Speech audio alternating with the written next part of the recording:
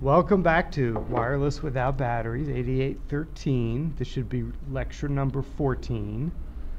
And our topic today is reflection amplification.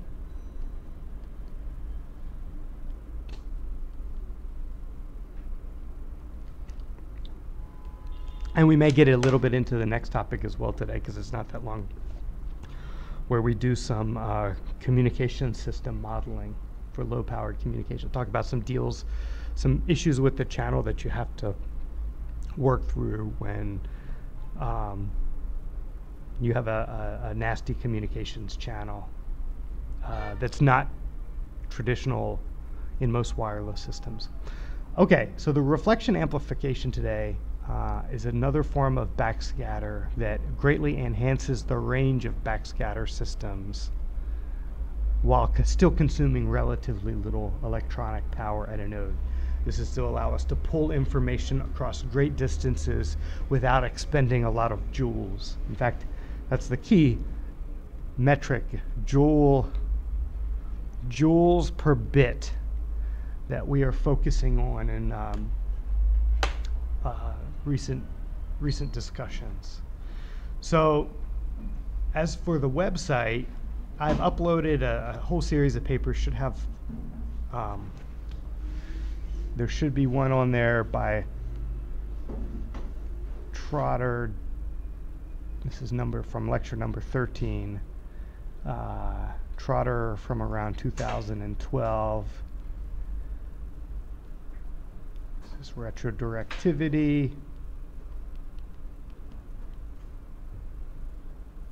Um, let's see, there's another topic.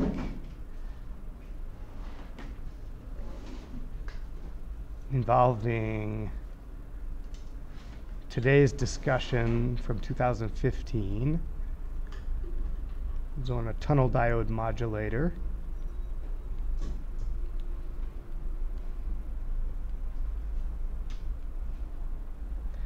And then from perhaps this or most likely next year's or next class period's lecture, I have a background paper, some notes on um,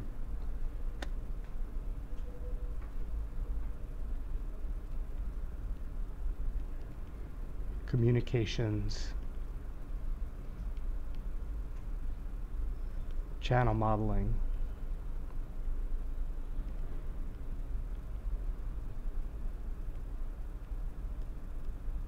For backscatter. Hmm. So those should be on there along with uh, the project sheet that should be up there with some sample project topics and the deadlines that we talked about. And I, I will also get the uh, solutions to test one up on there since we don't have any more outstanding tests. Okay, any questions before we go on administratively? No? Great.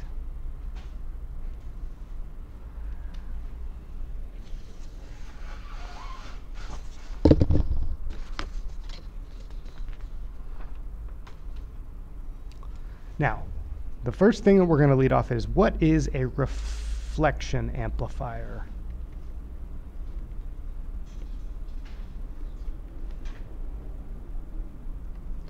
Most people that even have a passive um, exposure to RF, so to speak, is uh, are familiar with two-port amplifiers.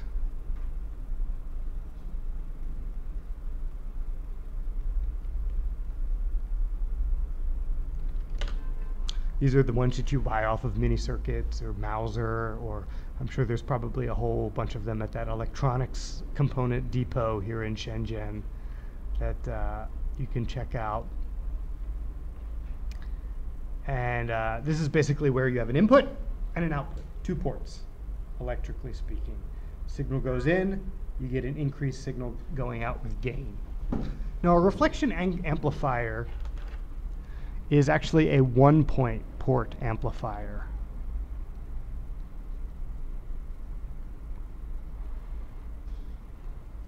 And whenever you talk about RF devices or microwave devices, we often characterize those with S parameters, right? How many of here have ever work measured an S parameter on a piece of equipment? Raise your hand. No one. That's okay. You, you have Muliang? Uh, it's about, uh, how to say, about uh, transmission. Uh, that's right. Co- co- uh. Transmission and reflection. Yes, yes. Have you ever made a measurement like that? Uh, yes. Okay, we have one out of six.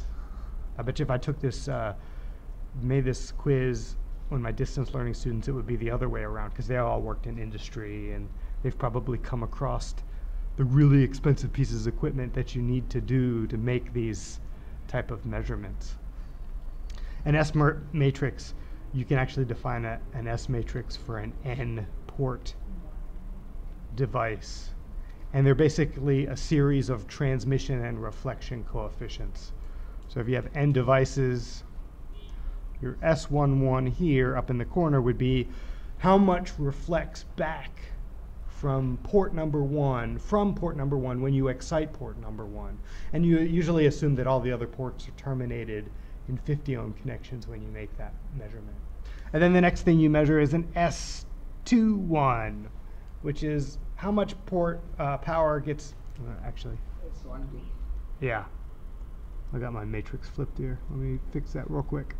S21, which is how much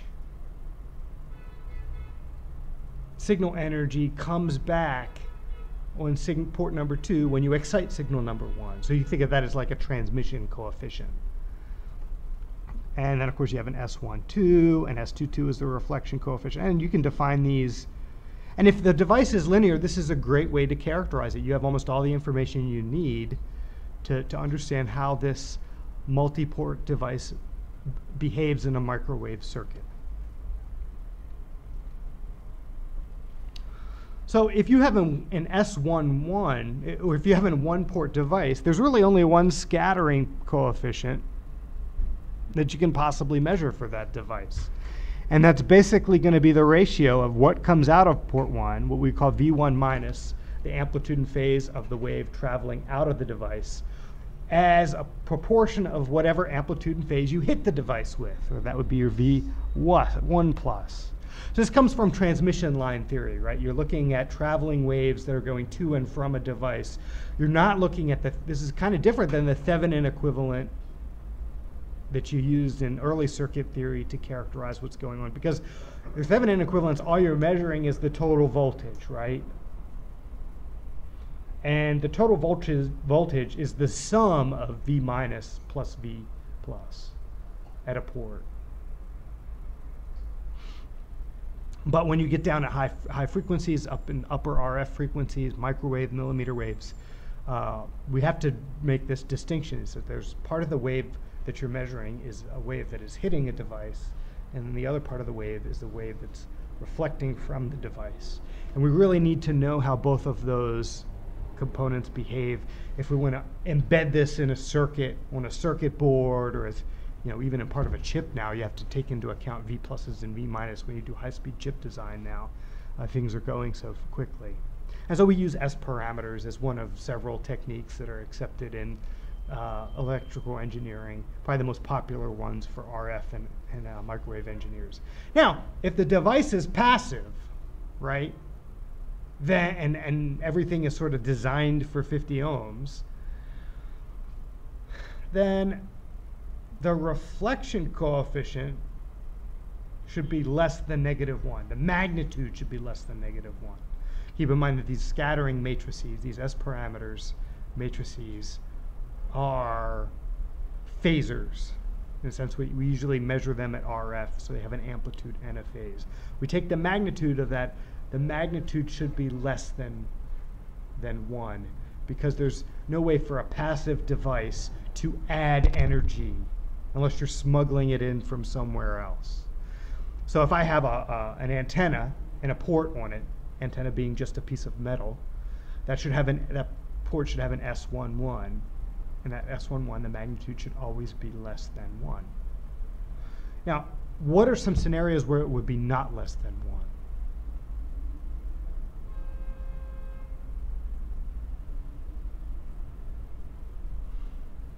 1? We'd, we'd have to find some way to smuggle power into the, yeah.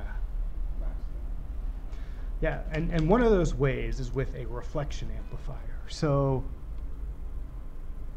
you can bias a semiconductor, take a transistor, bias it, and turn it in, into an amplifier, but one that reflects power. And that's really what gives you a one port amplifier. So now let's take a look.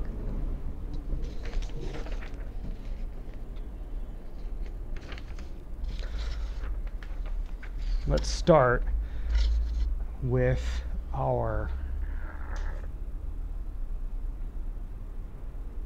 model for load modulation.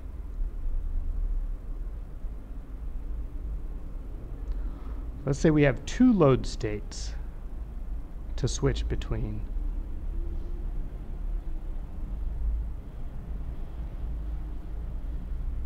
So here's my receive antenna, or I should call it a tag antenna because it's going to be scattering. Z1 is load number one, Z2 is load number two. In conventional backscatter modulation, I have a reflection coefficient for each of those states. That reflection coefficient is basically going to be Z1 or 2 minus whatever the impedance is for my antenna complex conjugate. Oops divided by z1 or z2 plus antenna. And you do not put a complex conjugate on the bottom. I'll explain the difference there in a second why that's the, the case. But uh, let's just start with this.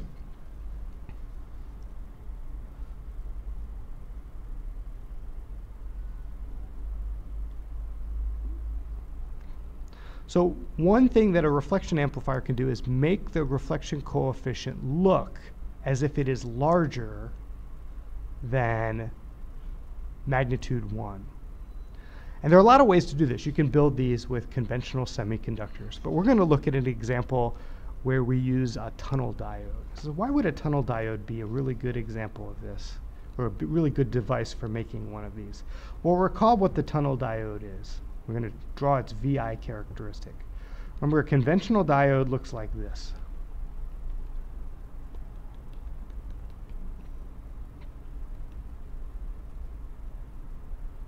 A conventional junction that has a turn-on voltage, V sub t, where it really starts to take off. And you start to get a lot of current as you increase voltage. At low voltages or negative voltages, however, you've got this saturation current here that you you have. Remember what the tunnel diode is, is it's got a broken band gap. Remember? It's got so heavily overdoped that the conduction band of one of the uh, semiconductor junctions is at the same Fermi level as the valence band of the other material. And therefore, you actually get this tunneling phenomenon where the electrons can jump across to the valence band and tunnel up to the conduction band and keep going. So it looks like an, uh, an ohmic junction at that point. And then all of a sudden it kicks in and you get this negative re region. So the tunnel diode looks kind of like this. Uh, let me switch colors here. This is not the color I wanted.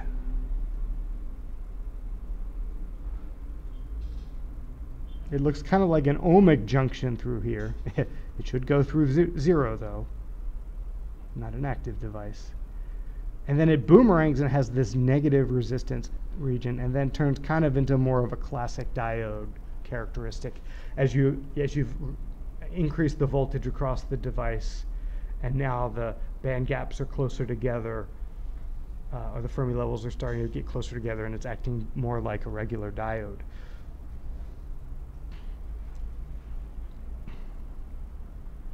And this, this region in here is the interesting part.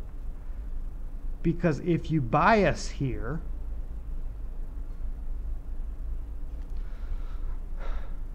your load appears to have a negative AC resistance. So it presents a negative you know, 50, negative 70, negative 90 ohms, depending on what the device is that's connected to there. So let's say that you've matched the device here so that Z1 is equal to 50 ohms. And let's say you've designed an antenna, ZA, so that it's a 50 ohm antenna as well. And that your second state is biased in such a way so that the reflect the slope there is negative 50 ohms. What happens when energy is impinging upon this system?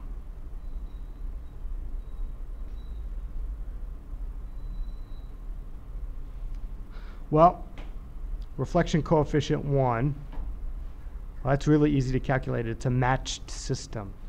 I have 50 ohm load minus 50 ohm antenna over 50 ohm plus 50 ohm. I get zero.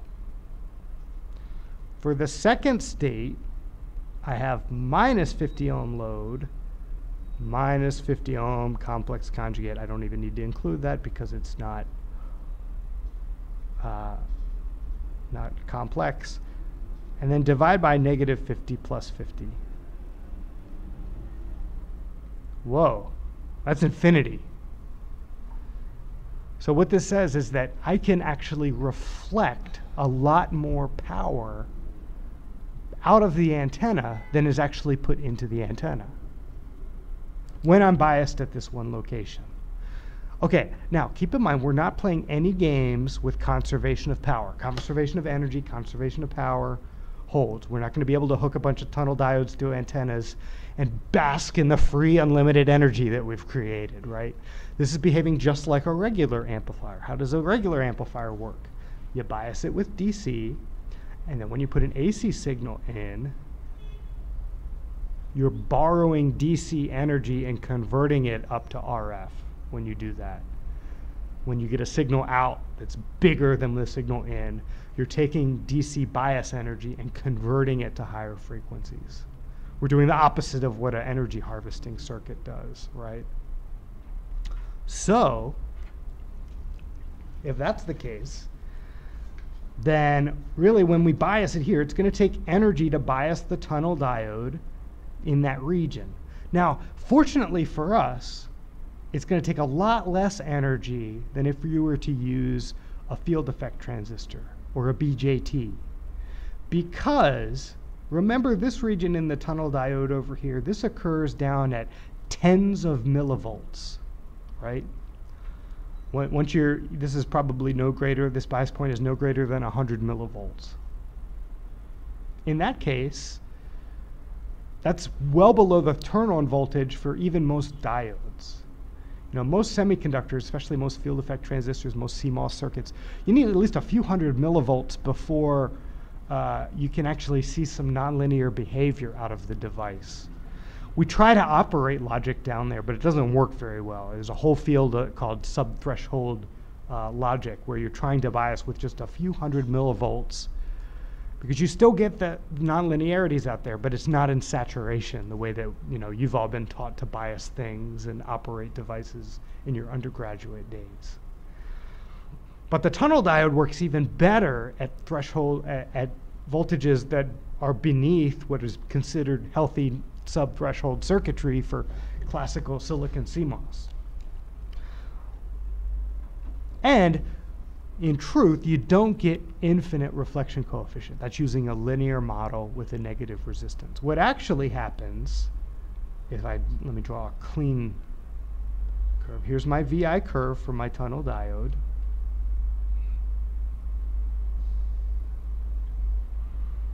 I bias here.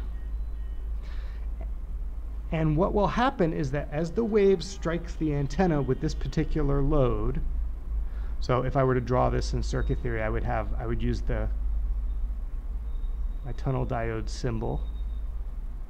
And of course I'd have to bias it. So I'd have some sort of, you know, RF choke connected to a DC bias. A simplified circuit. I would bias it here, and eventually this thing is going to start to oscillate. If you design it right, it will not oscillate when there's not a stimulus present. One of the problems with tunnel diodes and reflection amplifiers in general is that they're intrinsically unstable. All amplifiers are intrinsically unstable. That's what makes them amplifiers, right? They have some sort of positive feedback that makes them want to compound the frequencies uh, that, they're, that, that are being input to them. And tunnel diodes are, are, no different. When you bias a tunnel diode in the negative region, it wants to oscillate, and it's going to try its darndest to oscillate at whatever frequency that you allow it. This, this really frustrates a lot of electrical engineers because they can't even run a tunnel diode through a conventional curve tracer. Do, do you remember doing a curve tracer when you were an undergraduate? Your instructor gave you a device and they said, put it in a curve tracer and we'll measure the VI characteristic for you.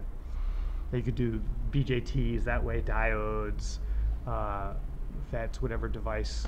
And usually most curve tracers have at least three ports on them.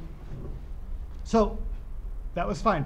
If you do that with a tunnel diode, you're probably going to get garbage because what will happen is it'll start to trace off that ohmic region, and then all of a sudden you'll hit the negative resistance region. And you know the thing is, the leads to the tunnel diode and the curve tracer hardware itself is a transmission line with it that presents an impedance differing at various frequencies. So whether you've intended to or not, you've connected it to a frequency selective transmission line that a little noise is going to excite the tunnel diode, which is going to reflect a reflection, which is going to come back and reflect back into the tunnel diode, and back and forth and back and forth. And before you know it, this thing is just, in a matter of picoseconds or nanoseconds, this thing is reflecting back at a particular frequency that you can't even measure with your little DC curve tracer. So usually when you when you do this experiment, well, I think you get this you curve uh, I'll draw it on the board. You'll get curve, and then your trace starts to look like this. Then curve. My postdoc has been measuring some of these lately, and he's been complaining. He's like, Esaki, the guy that, the Japanese guy, Leo Esaki that uh, invented the tunnel diode, he said, he should have gotten a Nobel Prize just for being able to measure the thing it's, it's too complicated, too hard to make a measurement sometimes. You have to, to do all these tricks to, to even make the measurement.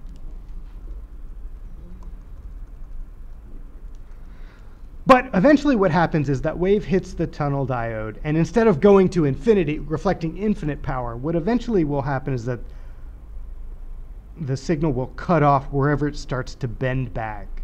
That's the extent of the the negative resistance region.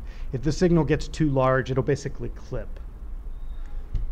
And you won't get any additional power back.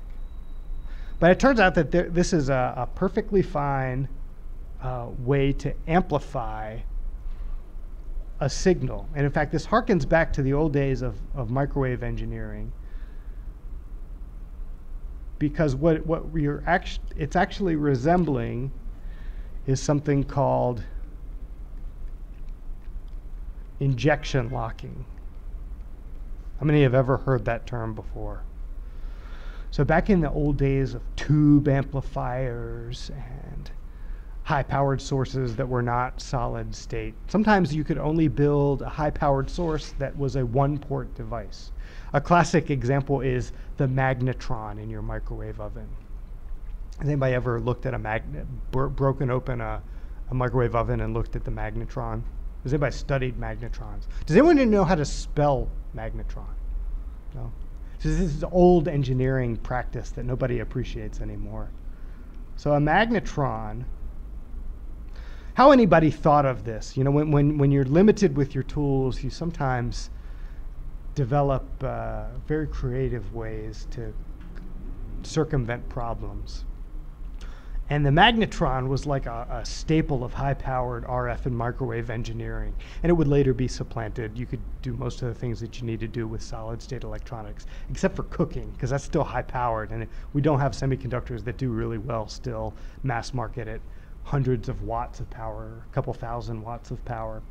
But it turns out that this form of vacuum tube called the magnetron uh, works works well. So the way that a magnetron works, if you were to cut open the cavity, you'd see like a flower almost.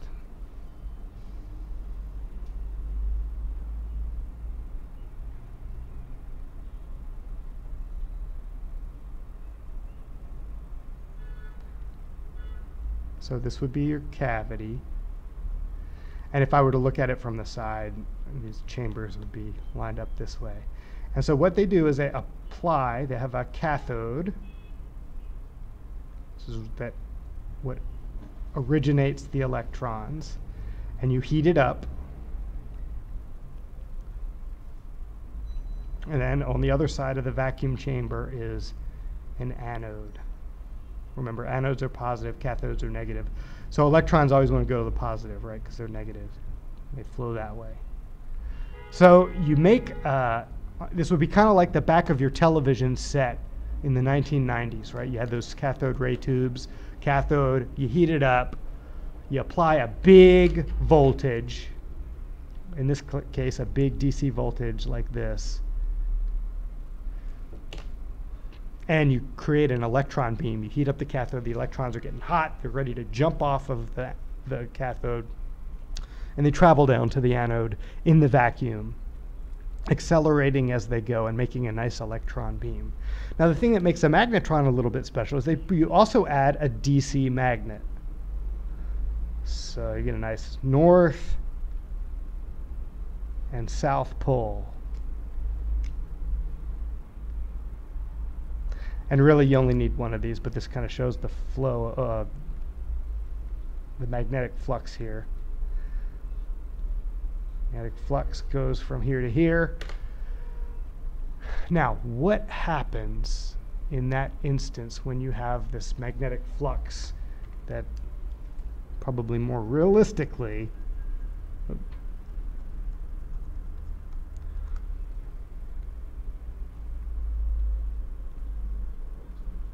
forget this here, kind of bends around like this. You got a magnet up here. You can put it on either end. But either way, the flux is going to come out bend around like this. Now you have a, a beam that's traveling through there, through this flux.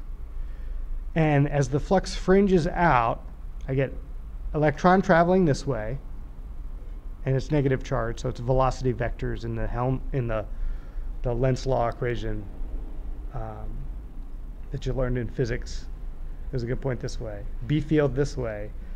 Where does the force on the, the electron point? That way. So it's going to swing it around. And as it swings around, the magnetic flux is going to change over here.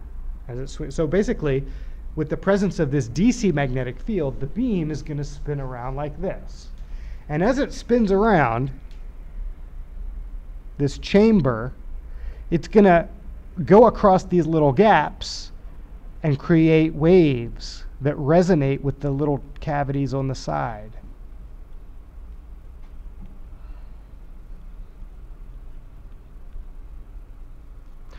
And so you keep hitting it with energy, you keep ringing the bell. Because remember, this is a highly charged negative electron beam. When the electron beam is really close to this piece of metal, is going to push the electrons around and they're going to want to travel around like this. And when it comes over here, then that's going to be the opposite. It's going to push the electrons out. So, so you're kind of ringing the bell at a particular frequency depending on the size of the chamber. And that's going to create an electromagnetic wave at that frequency. So if you have a bunch of tuned chambers, they should all resonate at roughly the same frequency. Now, the interesting thing about a magnetron is you can hook up an antenna to it and excite a very, very dirty wave coming out there. Why? Because there's no discipline to the thing. There's, you know, you, these are not very high Q resonators. And you'll be lucky to get a Q of one or 2,000 or maybe, maybe 10,000 if it's a good cavity resonator. But that's hardly the type of, of uh, Q factor that you would expect from, uh, say, a, a disciplined microwave or UHF oscillator. So when you look at it on the, the you know, if you were to look at this on the um, on the oscilloscope, you'd see a very dirty sine wave.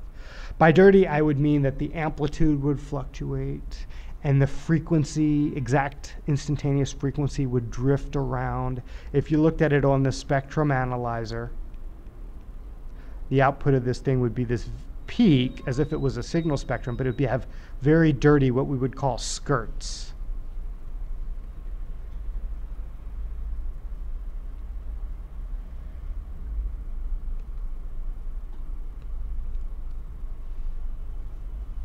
So, and, and when you're heating up food at 1200 watts, who cares, right? As long as the skirts aren't leaking out of band and causing a lot of problem for communications. In fact, this is one of the reasons why 2.4 to about 2.48 or up to 2.5 gigahertz in some countries is an unlicensed band because all the magnetrons are centered somewhere around there in microwave ovens and they are putting out an unreasonable amount of interference. You ever knocked out your Wi Fi when you heated up a burrito or a bowl of noodles?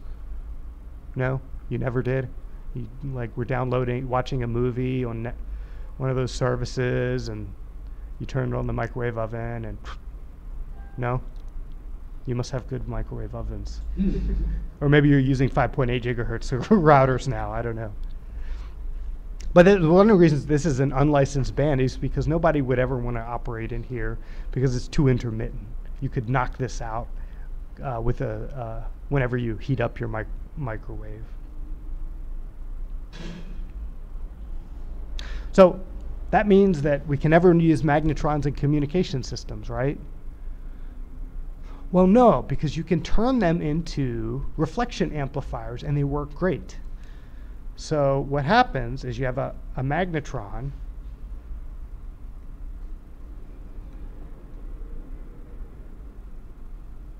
and you hook this to a coupler, a directional coupler.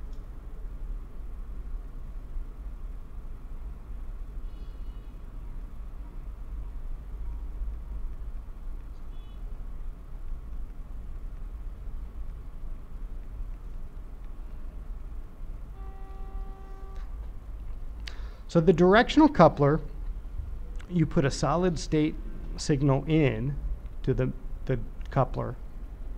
It goes into the chamber of the magnetron. And it turns out as soon as you put a fairly strong solid state amplifier signal, that's what injection locking is. It, it, injection locks. You've injected the signal, and now all of a sudden that dirty old microwave signal tightens up considerably and it only adds power to the incoming signal that you've put into the system. Then the signal reflects out at a much higher power level. And in this way, you can turn a dirty reflection amplifier into a disciplined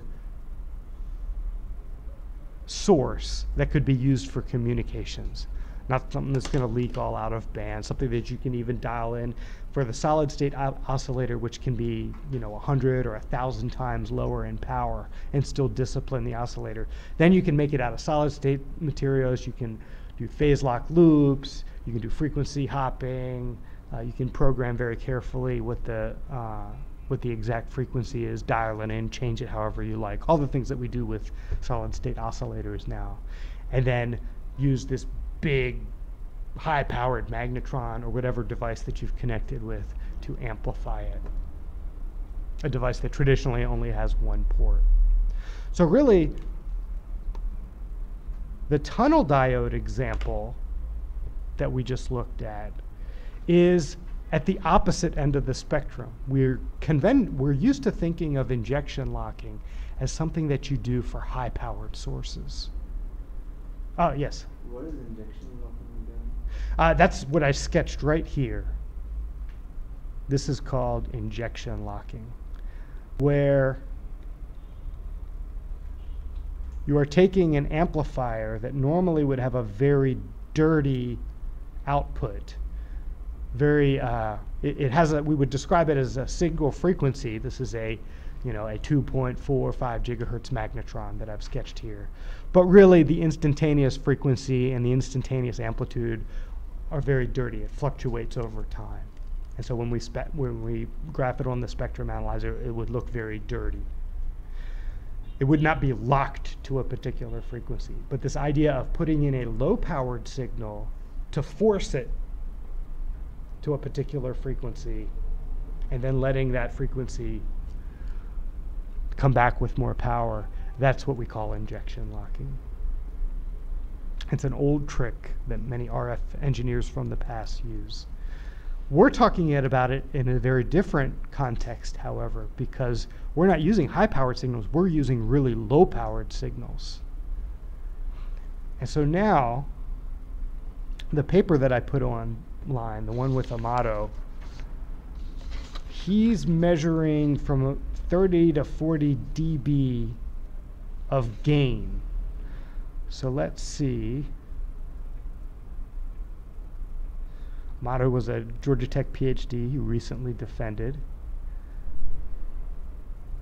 So really what his, his setup looks like is he's got a tunnel diode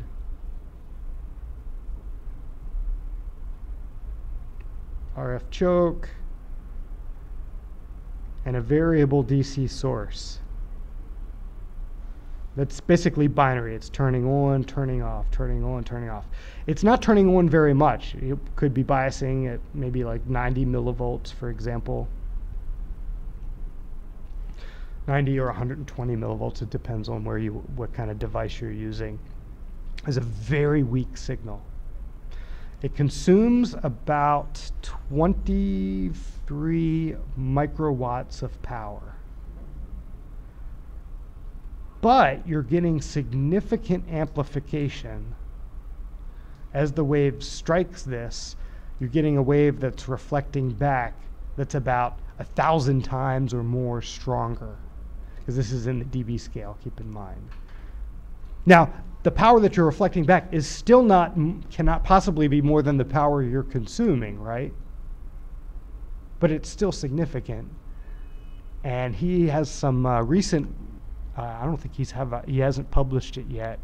Uh, he had a journal paper accepted, and he's actually getting data across Midtown Atlanta in a line of sight link. So he's got a, a device that's I think it was about 1,200 meters, 1.2 kilometers away, and he's actually reflecting real information from that to and from using a very low-powered transmitter on the top of a roof building on Georgia Tech campus, and just a standard backscatter receiver with a little coding to it.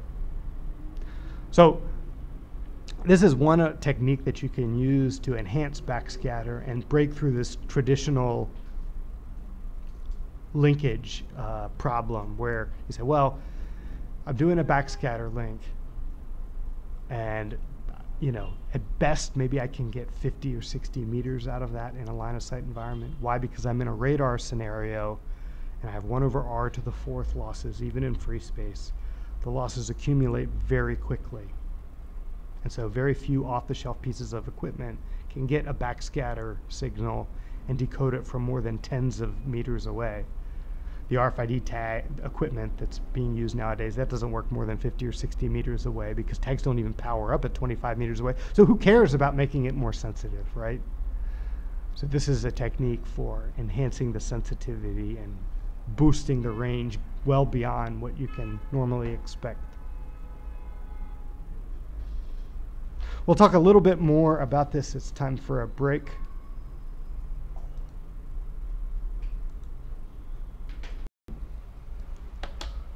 Okay, back to it. Um, did you think of any questions while we were taking that intermission? No? Perfect understanding as usual. Expect nothing less from this class. Um, okay, so the Francesco Francesco's paper is up there for you to to look at in T square. He is basically using his tunnel diode as a reflection amplifier, and this allows you to backscatter with ranges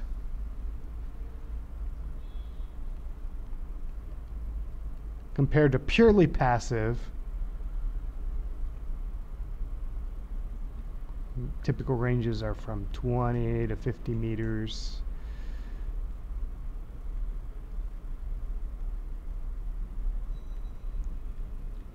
Tunnel diode, we get greater than one kilometer. Mm-hmm. Backscatter. And this is typical free space. Okay.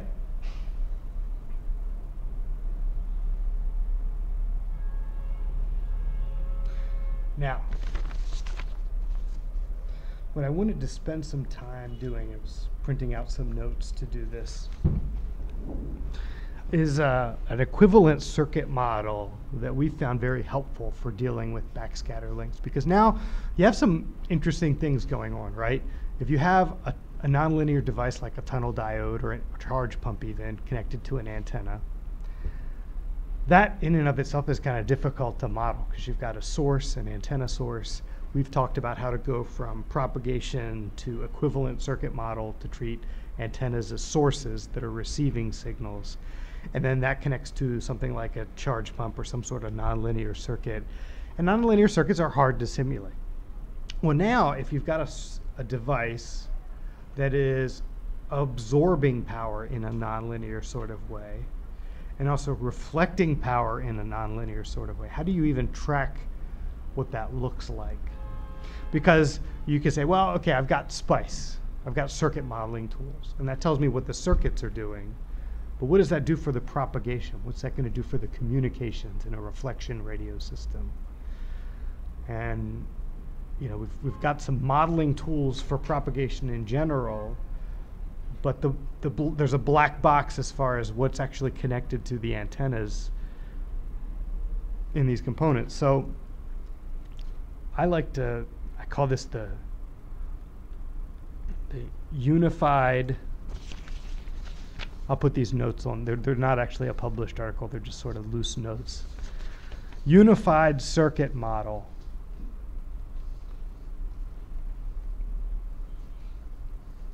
for backscatter.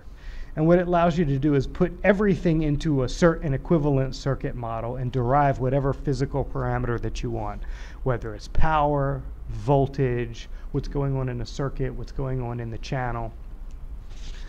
And so to start with, we have our transmitter and our receiver, and in a backscatter system that constitutes the reader.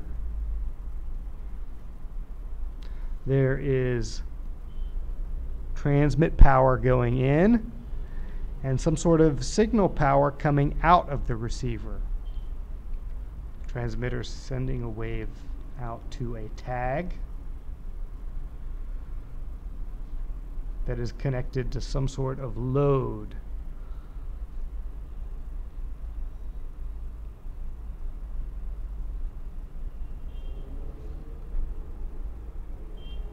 and some of that is being reflected back to the receiver.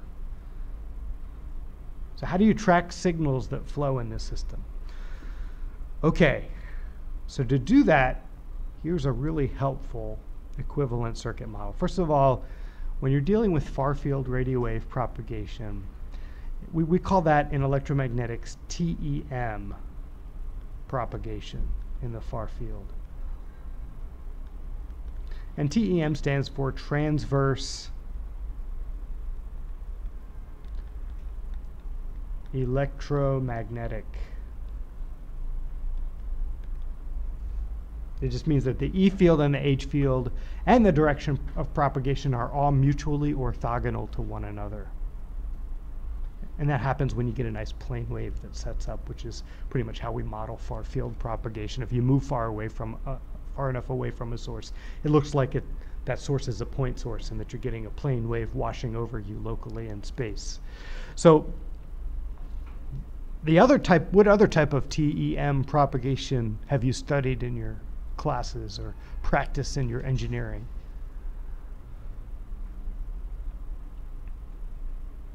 Well, transmission lines are considered TEM propagation because the, they have E fields and H fields and directions of propagation that are at least approximately mutually orthogonal to one another. And so it's always nice to model propagation as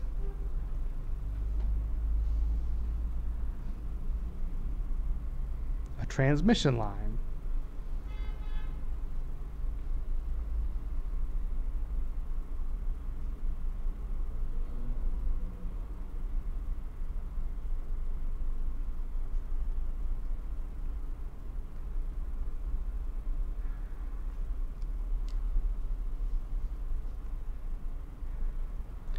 So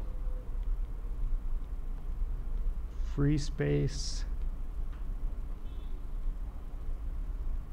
propagation. Zoom down here. You can give it an eta of 377 ohms or whatever medium that you're operating in. 377 ohms is the impedance of free space, the ratio of E to H current, or in a transmission line, V to I. So that's actually nice because it allows you to uh, formulate uh, a voltage and current equivalent in this circuit model. Now, what happens at the antenna for this model? That wave gets to the antenna, and in a backscatter system, that antenna reflects part of that power back. In the case of tunnel diodes or some other reflection-based amplifier, additional power back. How do you model that? So we found that this is a very helpful equivalent model for an antenna. Model it as an ideal transformer.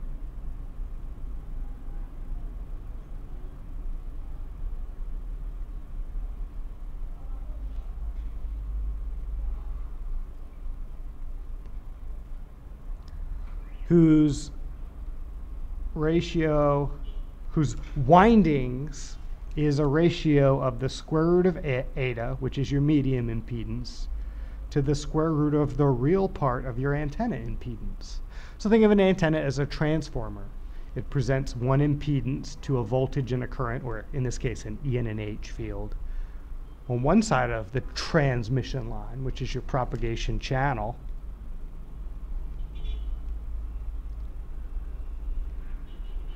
And then it transforms it to a different combination of voltage and current that gets presented to whatever your tag circuitry is. And ZL could be anything. It could be a charge pump, it could be a tunnel diode, it could be a FET switch modulator, it could be a detector circuit for communications. It could be all of those things in parallel, which would have some weird nonlinear curve associated with it. And then in series, you have to put this J sub A term. This is the reactive component.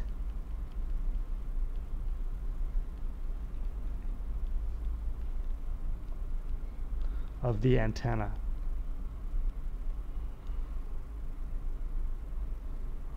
And the reason why this is a really nice circuit to use to model backscatter is that let's look at what is the Thevenin equivalent impedance and source when I look at it from the load side, from the load's perspective. So I still have my Z sub L here, which is complex. I'll put a squiggle. I don't think the notes have a squiggle, but it's a phasor. Well, I have to take whatever voltage I have here and transform it all the way forward. So here's the interesting part. If I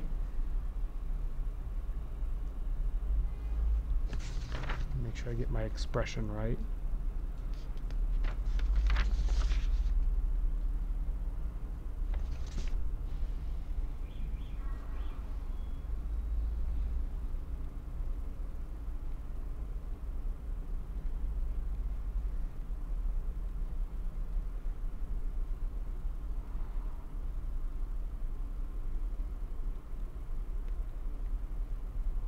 The Thevenin equivalent impedance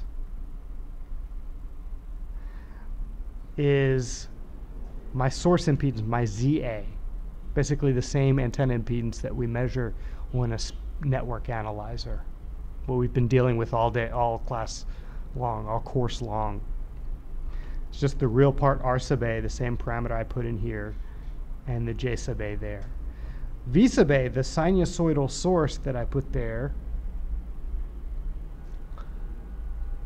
is whatever the impinging wave is coming down the line, V plus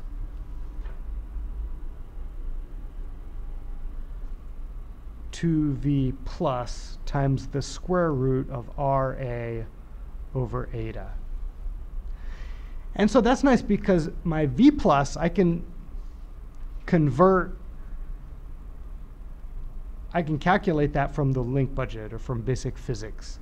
Uh, it, that gives you a formula in the paper. It's basically based on the link budget. This is how much energy density do I have striking my antenna with gains G sub t and G sub little t for tag antenna. And then once I have that voltage, I can then create a Thevenin equivalent voltage over here that describes how that antenna behaves as a source. And then what I can do is present a Thevenin equivalent impedance looking this way. In other words, what does this look like in this model?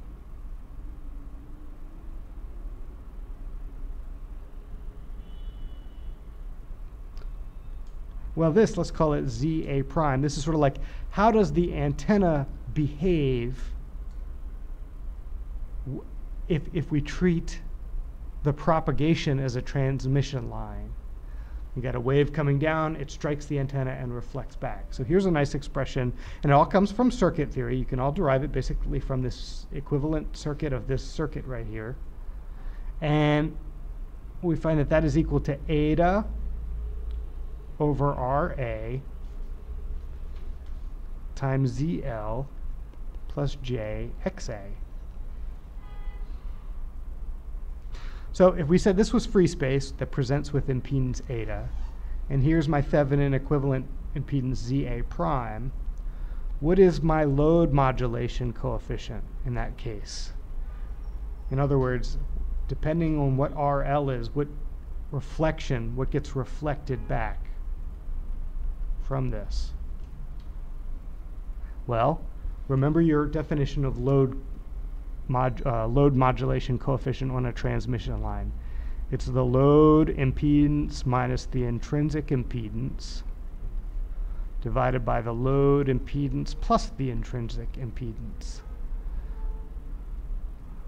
Load impedance in this case is Z sub L, or no, Z sub A prime.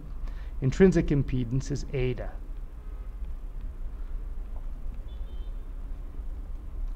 Well, we have an expression for the intrinsic impedance or uh, for z sub a prime because I put use a prime because it's not the same as z sub a. Z sub a is the impedance as presented from as seen by the load side. This is the in, impedance of both the antenna and the load presented from the source side or the propagation side. So let's plug this in. Here's my ZA prime.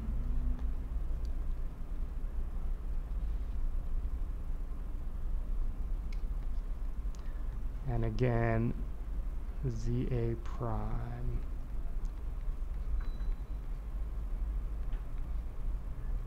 Plus eta. And let's see, all the etas are going to cancel, right? And if I multiply through by RA over RA, what I'll get is that reflection coefficient is equal to ZL plus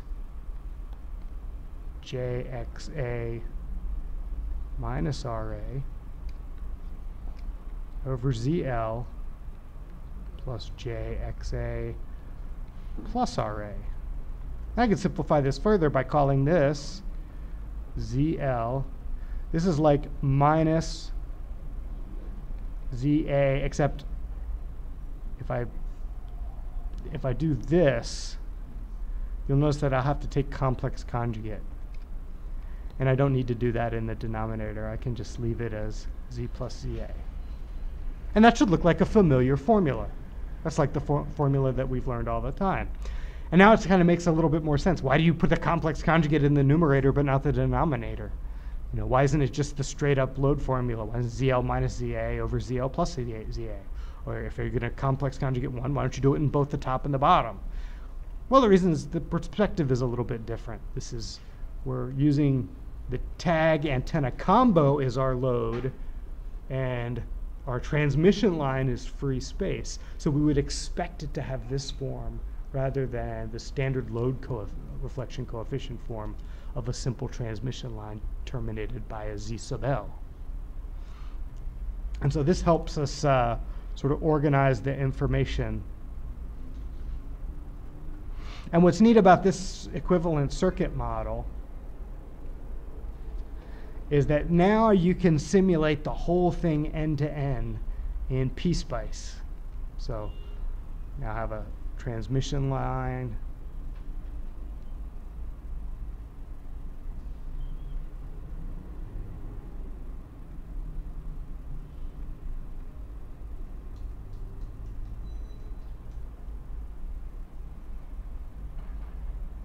Ideal transformer.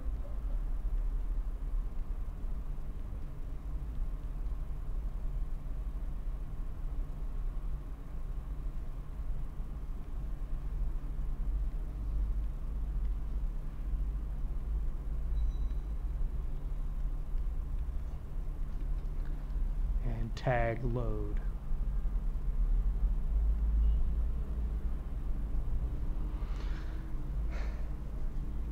And there's a whole mapping in that, that set of notes that shows how do you equate equivalent um, properties. So if you know what the V minus is, the reflected wave from your circuit simulator, there's a simple way to go straight to that and calculate received power. If you know what your transmit power is at your receiver, there's a really simple way to go from there to V plus and start this and basically set up the source for the simulation. And so this allows you to go into a PSpice or a microwave design studio or whatever software tool that you're using that's really good at circuit simulations and actually put the entire system of what we've been talking about into an equivalent circuit model. And now you could put here, you know, a nonlinear charge pump or a nonlinear tunnel diode and try to simulate the effects on the communication system. What do I see a few hundred meters away at my receiver when I excite this system with a sine wave? What do I do if I excite it with a power optimized waveform or some sort of peak to average power signal that has a lot of, that's going to invoke a lot of nonlinearities? One of the topics that's not on your projects, but one of the interesting topics that uh, has been thrown around by various people um, is the idea that, well, sometimes we can't get a charge pump to turn on. However, we still can invoke some of the nonlinearities. We can still detect the nonlinearities. So, for example, let's say I have a charge pump as Z sub L. That, of course, is going to be some combination of diodes and capacitors. And what's more, if I don't have a certain threshold voltage, then I'm not going to get enough output on that system to, to power up my tag and do communications and sensing. However, before I power up, I still should start to see some sort of nonlinearity there, right? I should be able to excite it. And if I if I knew there was a tag present, but I couldn't actually talk to it, I couldn't power it up and get it its memory and all that other stuff, then if I at least knew where it was, I could steer power over towards it. And so uh, we have this idea floating around at Georgia Tech. It's called, uh, because we haven't thought of a better word, name for it, charge tickling. Nobody's ever studied this before, so we don't. That's the only name that we have. We have like, some guys over at GTRI that has done have done some experiments. But the idea is that, you know, let's say the instructor has their eyes closed and everybody else in the class is partly asleep. How do I figure out where to how to wake you guys up? I said, well, I could transmit a lot of power by just screaming. Or I could just like start poking places, right? I poke over here and I find, uh, oh no, wait, I got to poke over there. I poke over at my Dylan tag. And I find that the, when I hit, poke him a little bit with a little bit of energy, he doesn't wake up, but he kind of twitches. And I can sense the response. And I said, wait a second. Looking at that nonlinear response, I now know that somewhere in that direction is Dylan. And so I'm going to take my array or whatever, steer a beam towards him and hit him with more power. Not increasing the transmit power that I'm transmitting, just making it more directional. And hopefully, with four or five extra dB, Dylan will be able to wake up and respond. Dylan will respond to my query more readily. And therefore, I can, exchange, I, I can extend the range of Dylan. So if anybody's interested in that topic, I didn't put that down as a potential topic list, but that would be an example of something that nobody's ever studied before and would be a relatively straightforward thing to do. You just get on, on Spice and get some models for charge pumps and look at hitting this, that with, uh, you could even use a power optimized waveform. Because the goal isn't just to power it up, it's just to see if it, it exists. And if you have multiple antennas, can you look at the return the amplitude and phase of the return and actually see if there is, if you can triangulate where Dylan is, so you can send him more energy. There aren't that many things in nature that actually produce a nonlinear RF return, right? So if you put two sine waves together, for example, you should see some intermod products if you hit Dylan with both of those sine waves at the same time. So you'll see these amplitude and phase of these little intermod products.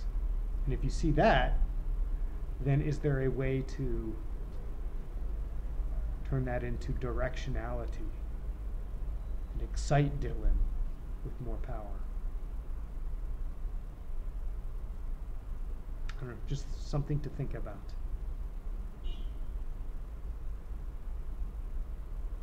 Good project topic.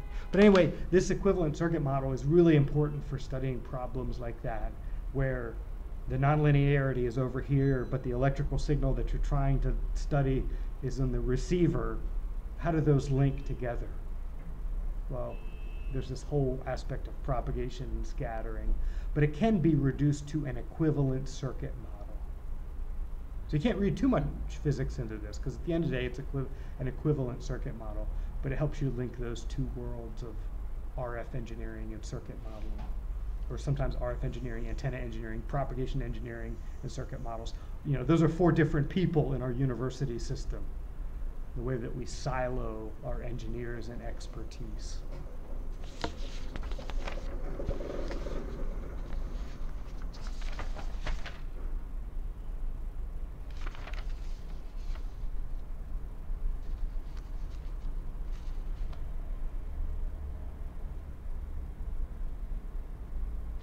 Anyway, any more questions? Any questions about that? No? Well, good. I wanted to cover that to make sure that since we're getting into, since we got into tunnel diodes and nonlinear modulators. So the next thing that I want to talk about is noise. And this discussion is probably going to go beyond the next 15 minutes or so that we have together. Um, but I'll give you a, it'll be just a nice lead in, into the next uh, class period. So in radio communications, the way that we demodulate signals, most of our wireless channels that we deal with, when we talk about smartphones or satellites or uh, point-to-point -point microwave links, radars, etc., these are all what we would call AWGN channels. Additive white Gaussian noise. And we represent the signals as x of t. This is our data signal. It means we're going to add a zero noise white Gaussian process to that. White means all the frequencies are excited uniformly. Why? Because we're either dealing with the background radiation of the universe or our environment due to thermal noise over a band that looks relatively, over a radio band that'll look relatively flat. It does have some frequency selectivity if you go over octaves, but just over a regular, uh, what we would consider to be a broadband radio signal in electrical engineering, that would be a, relatively frequency flat process. And if it's not noise, if it's not thermal noise, it's man-made noise, and we say there's enough of it that it kind of looks like additive Gaussian noise anyway. So in this scenario, if this is digital data, and this is a additive white Gaussian noise, what's the best way to demodulate that? What's the best way to detect what has been sent? What did you learn when you studied digital communications in your undergraduate days? Does anybody remember what it's called? The way that we detect this signal?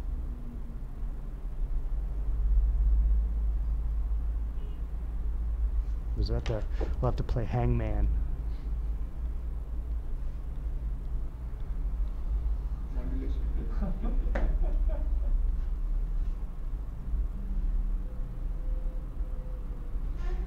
Uh, DJ, give me a letter.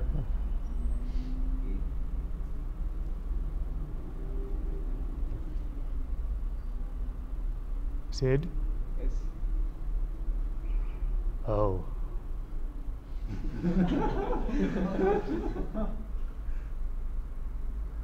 Muliang, letter please.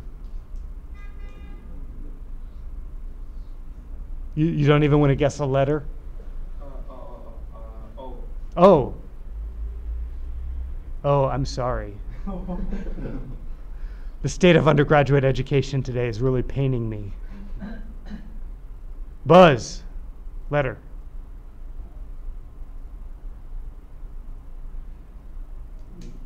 What?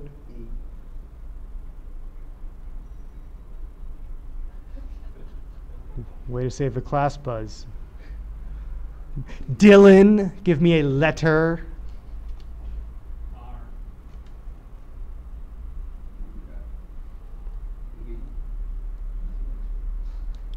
Oh, what did you say, Mulia? Oh, I like it. I'll just put that in there. And what's the top one?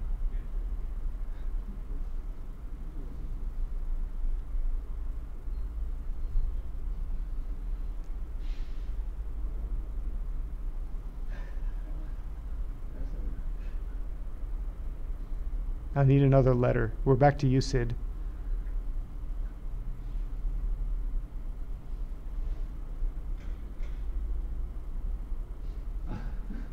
I'll give you a hint.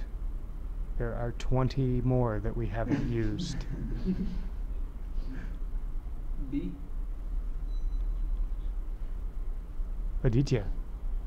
Matched filter. Matched filter. There you go. You win the vacation to Hong Kong, Buzz.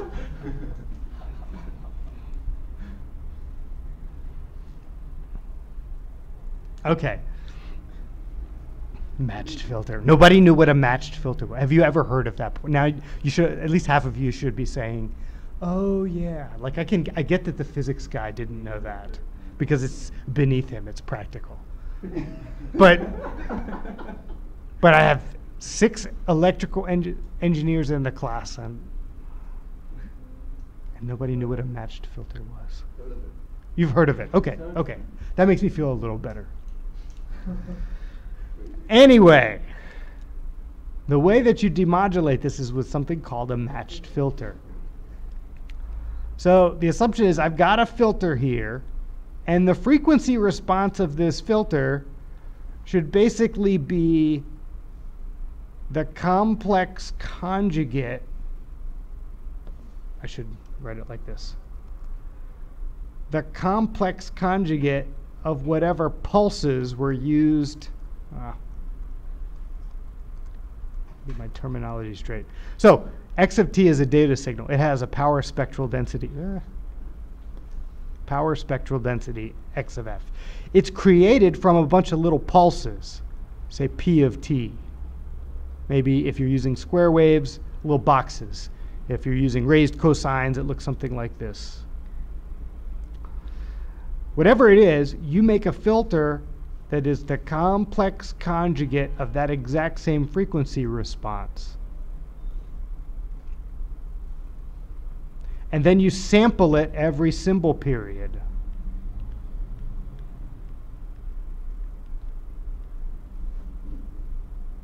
And the goal here isn't to get the highest signal to noise ratio or the, the actually it is to get the highest signal to noise ratio of a particular point in the sample where you're sampling the amplitude of the pulse. This is basically the, the structure that you use that is the optimal linear filter for detecting the presence or absence or amplitude of a digital pulse. You can show through math this is the best way you can do it and still be a linear filter. It doesn't reproduce the actual signal most faithfully, but for additive white Gaussian noise, this is the best way to detect the signal. So I get out of here a bunch of samples, a bunch of detection samples that tells me whether the pulse is present or if so, what amplitude and phase does it have. And one can see this as sort of a correlation filter, because really the act of complex conjugate is like time reversal in uh, the time domain. So if your pulses are triangles, then the impulse response of your h of t is going to be time reverse triangles, or guess what? Triangles. And then you're convolving something with itself that's like a correlation. And so you get an output that doesn't look really like your input, but it turns out that if you sample at that peak correlation point, then you get a, the best possible estimate for what this symbol is, if there's Gaussian noise present. And that's the trick, because in a lot of these low-powered uh, communication links, we don't have an additive white Gaussian noise process. We've got colored noise. Now, what, what do we mean by colored noise? Well,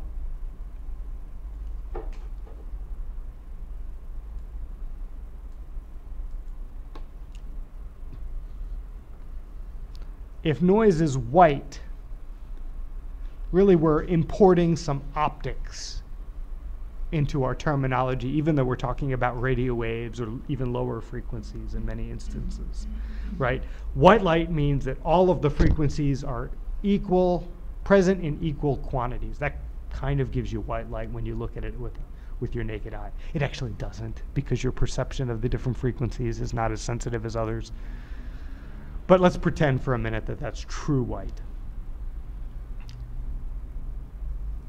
So if, however, your noise profile, and here what I'm graphing would be something like the power spectral density of noise. Noise as a function of frequency. It doesn't matter what the frequencies is, are. In fact, we use these terminologies for noise that has that are many orders of magnitude lower than optics. If your noise kind of ramps up like this, we often call that blue noise or violet noise. And if your your noise power ramps up at the low frequencies, we often call that red noise or pink noise.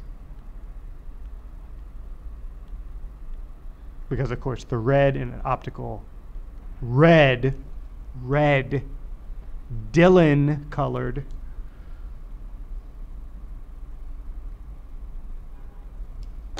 and blue would be on opposite ends of the frequency spectrum if this were truly optics. Now, what causes colored noise? The, the thing that you're most interested in is actually this red or pink noise.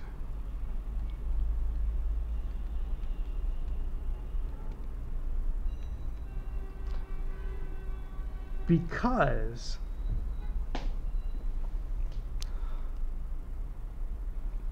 for red or pink noise, when you look at the low frequency output of electronics, let's say I'm, let's just say, hypothetically, I've got an oscillator. What the oscillator should put out is a perfect frequency tone, right? We always draw it in this class as cosine 2 pi ft, which means it's the world's perfect oscillator. There's no phase noise when I draw it like that. The amplitude doesn't vary. It's always at the exact frequency for all times. But that's actually not how an oscillator works.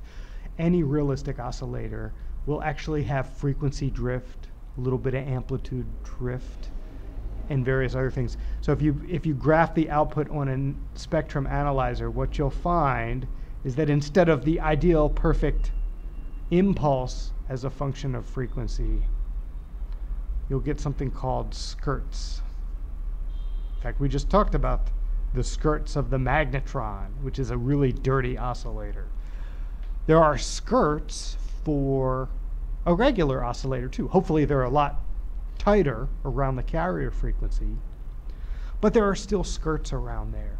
And the problem is when you go to modulate data onto that signal, to use backscatter modulation, for example, you're putting that data on the carrier. So if I were to just take a bunch of random ones and zeros, one, zero, one, zero, drive a field effect transistor switch with that signal connected to an antenna, I would get a signal. Well, the, what's the baseband power spectral density of a signal that I've drawn like that? I just take a bunch of square wave pulses and I actually put information on the, the square pulses, not just a repetitive signal, which would just be a bunch of spectral lines, but I actually put information on that.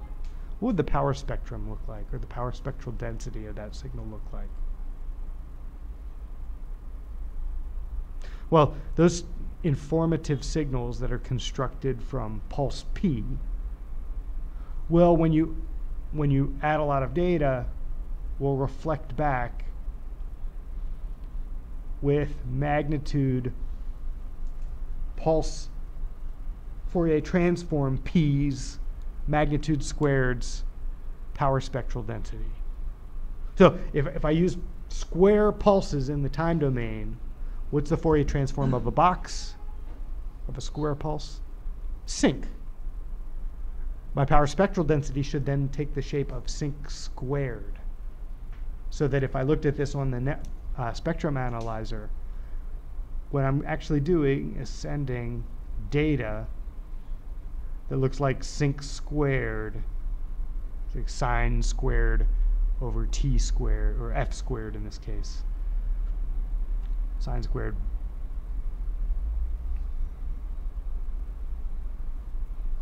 And the problem with this is that we're dealing with low powered communications because the faster you have to clock the electronics, the more power it consumes, which means this signal is necessarily going to hug this carrier.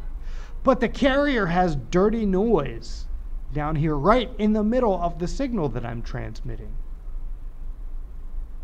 So if I were to look at this at baseband, if I down convert this to baseband, then I am going to have a signal like this and some red noise or pink noise that looks like this. The, sig the noise is actually going through the roof right where the peak information content is in my signal. Well, this causes all sorts of problems. We talk a little bit more next class period about the, the electronic origins of these noises because it's not just the dirtiness of the oscillator, but there are also some attributes of amplifiers and mixers that cause low frequency noise down there. And that occurs exactly where most of your information is on a backscatter system. So we'll talk about ways that we practically remove that noise, both with hardware and then also some coding. We can apply some special codes to uh, make our modulation signal look as if it has more frequency content than it actually does. That's going to be the subject of Wednesday's talk. So I will see you on Wednesday. Do you have any questions? I'll shut off the recording then.